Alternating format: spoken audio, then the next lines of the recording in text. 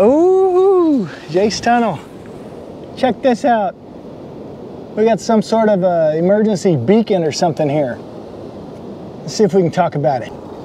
Okay, look at this thing.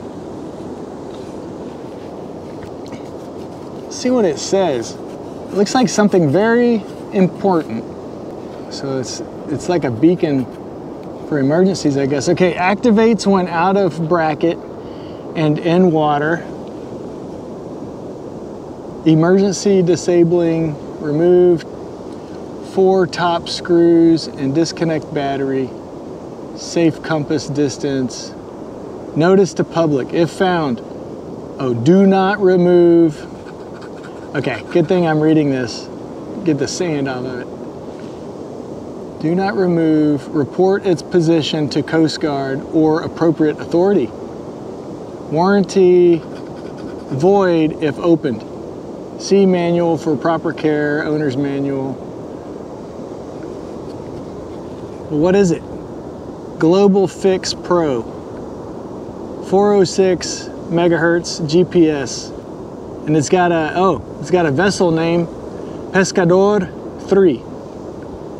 And it's got an expiration date of June 11th, 2021.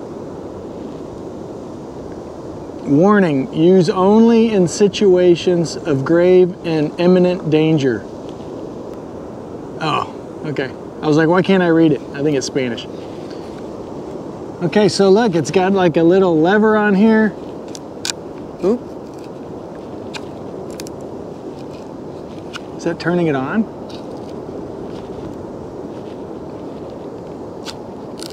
I don't know. Um, you know, there's all kinds of uh, boats and things like that that are out in the Gulf of Mexico. And I guess if there's emergency situations, you know, there is no cell phone service, so I guess they have something like this, a beacon of some kind uh, for emergencies. Okay, with that, talk to you later. Bye. Okay, let's see if we can call the Coast Guard here, here in Port Aransas.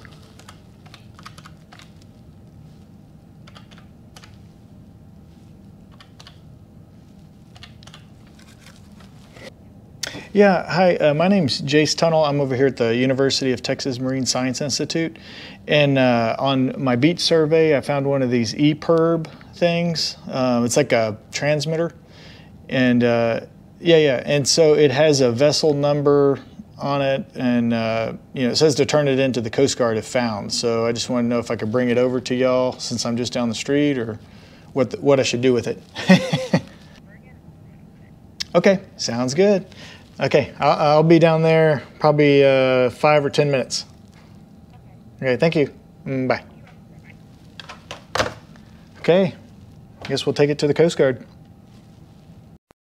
Okay, so I'm down here, rung the bell, uh, waiting down here to see if uh, the Coast Guard's gonna come down. They said they're gonna meet somebody down here to, to take it off my hands and they're gonna figure out where it came from and hopefully see if everything's okay. I'll give you an update if I can. Okay, so uh, ended up meeting up with a real nice uh, guy from the Coast Guard. And uh, he said that he looked at it right away and he's like, well, this has been out, uh, out there for a while. He said uh, that the battery probably died uh, close to two years ago. And he looked up on his phone, he had all the vessels on his phone. so he looked up Pescador, which was the name that was on this EPIRB there's up to six pescadores on there. And so this uh, on the actu actual name on it was um, Pescador 3. And he said he couldn't find that in his system. So they're going to go back and see if they can find anything out about this. I gave him my card. So hopefully they'll get back to me. And uh, if so, I'll give you an update. All right, that's it for this episode of Beachcombing. We'll see what we find next time. Bye.